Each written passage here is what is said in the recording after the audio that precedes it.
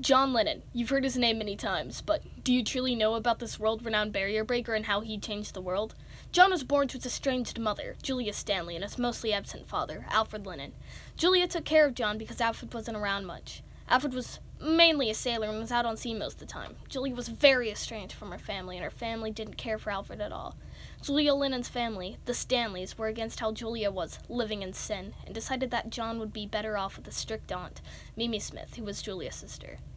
Mimi was a very controlling woman. She was strict and didn't give John much affection. She even went as far as to forbid Julia from seeing John.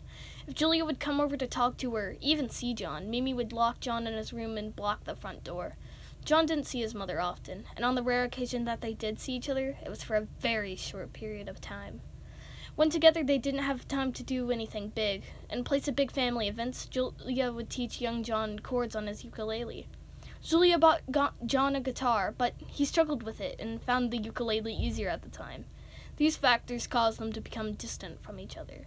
Lennon's poor home life led to a poor school life, too. Despite John being seen as bright, he had a poor school life. He tended to slack off and fool around in school. He led a gang and often shoplifted or mocked his peers. Lennon was angry, not just at people, but at the world. In his childhood, John felt he never truly belonged anywhere, and it's believed that that's one of the components of his cruelty. An ex girlfriend said he would even walk up to kids with deformities and make rude faces towards them just for fun. That sometimes erupted into anger and physical violence between the children. It is believed that his violence could have come from his restrictive childhood. He didn't live with his real parents and never liked people much, probably due to isolation as a child. During his later school years, he started a band known as the Quarrymen, which would later become the Beatles. The Beatles didn't start out with the members we've come to know. John Lennon didn't even know any of the future Beatles. The first Beatle John ever met was Paul McCartney, the Quarrymen's bassist. Ivan Vaughan introduced his fellow bandmates to his friend from school, Paul McCartney. John and Paul chatted with each other, and Paul showed John how to tune his guitar. Paul then sang a few songs for the group. They soon took a liking to each other. This small encounter would mark the phenomenon that was the Beatles. The next of the four lads from Liverpool to appear in John's life was George Harrison. The Quarrymen were looking for a third guitarist. Paul McCartney suggested his friend, George Harrison. George was younger than John and Paul, at the age of 14. John was 16, and Paul was 15, so John always tended to see George as a little brother figure. George auditioned for the role of the third guitarist atop a double decker bus and played Bill Justis's Raunchy. The fourth and final Beatle to join the band was Richard Starkey, more commonly known as Ringo Starr. Ringo was a drummer in the band known as Rory Storm and the Hurricanes. They often played at the same club the Beatles did, known as the Cavern Club. The Beatles' drummer at the time, Pete Best, was often absent, and Ringo filled in for him, despite the fact he was in a different band. Ringo wasn't the official drummer until after Love Me Do was released. Before then, George Martin, the Beatles' sound director, demanded that Pete Best be replaced. Once they replaced Pete Best with Ringo Starr, Fans grew angry due to the replacement of Pete Best, and fights had broken out because of this change. Little did they know what the Beatles would soon become. The longer they were around, the more fans they gained. At the pinnacle of their fame, most people knew the Beatles by name. As soon as they got the chance, they started to tour. On February 9th, 1964, the Beatles went on The Ed Sullivan Show for their first live TV performance in the United States. At 8 o'clock p.m., John, Paul, George, and Ringo were seen by 73 million Americans on TV. Two days later, on February 11th, 1964, the Beatles finally did their first U.S. concert at the Washington Coliseum in Washington, D.C. Americans did know the Beatles well before this, though, because of their one, number one hit in America entitled I Want to Hold Your Hand. Later on, on August 12th, 1966, the Beatles started their first American tour. This tour is associated with their album Yesterday and Today, Revolver. The tour later ended on August 29, 1966. John felt many ways about touring, and even being a Beatle. His opinion often changed and differed from time to time, though. In an interview with Rolling Stone's Time magazine, he said if he had the chance, he would be anything except a Beatle. He explained that it wasn't because of his bandmates or other things, but because of the fans. He said, quote, censored. I resent being an artist. In that respect, I resent performing for effing idiots who don't know anything. They can't feel. I'm the one that's feeling because I'm the one that is expressing. They live vicariously through me and other artists, and we are the ones, even with the boxers. When Oscar comes in the ring, they're booing the heck out of him. He only hits Clay once, and they're all cheering him. I'd sooner be in the audience, really, but I'm not capable of it.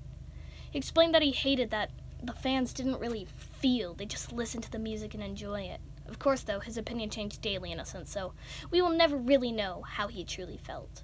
At the height of Beatlemania, John made a mistake. On March 4th, 1966, John had stated, We're bigger than Jesus, and immediately following that, outrage had sparked. Many radio stations banned Beatles music, and someone as far as recording them smashing records on live radio. They were sent death threats, and their fan base dropped significantly. This marked the end of their touring career, and was the first spark that would lead to their eventual breakup. John was married to a woman by the name Cynthia Powell.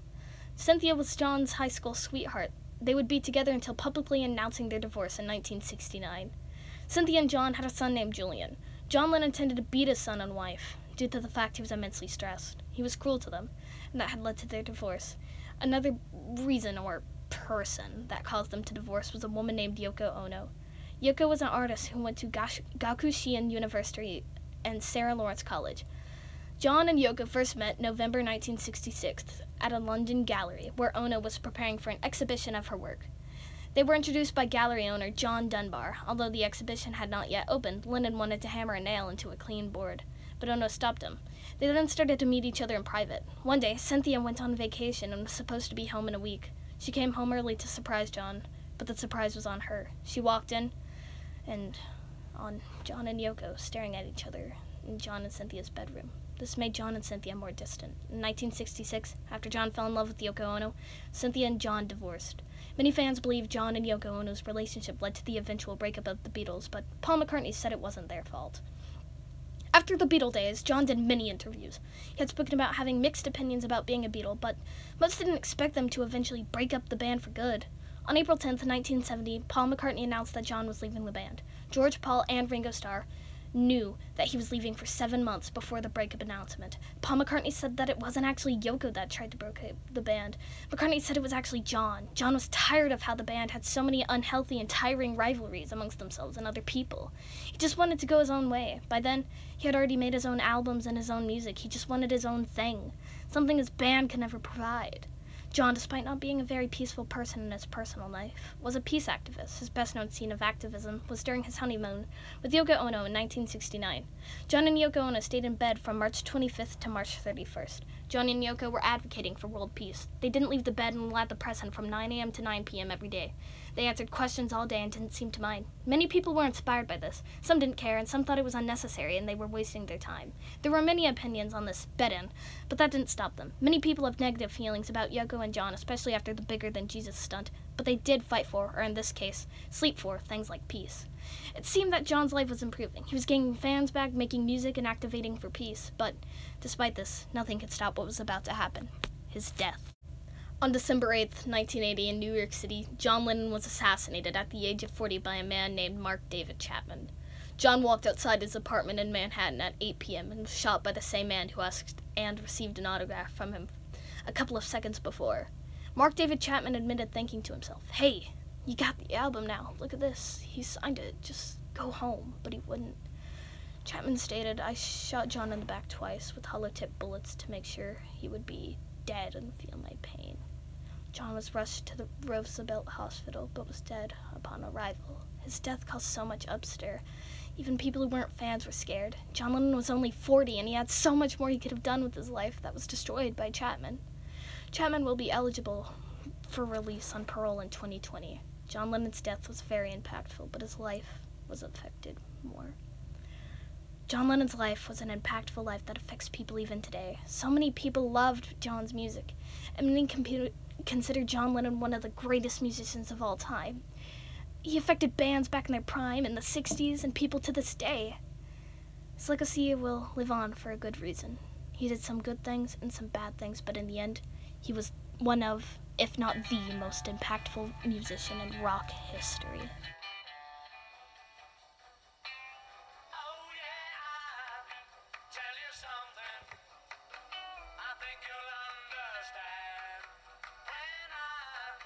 say that something